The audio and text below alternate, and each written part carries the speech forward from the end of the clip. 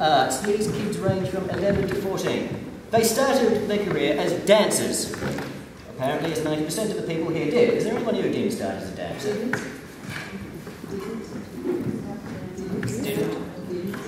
Okay, I stand corrected. They are doing a group acro contortion routine. Please welcome to the stage, Cubed.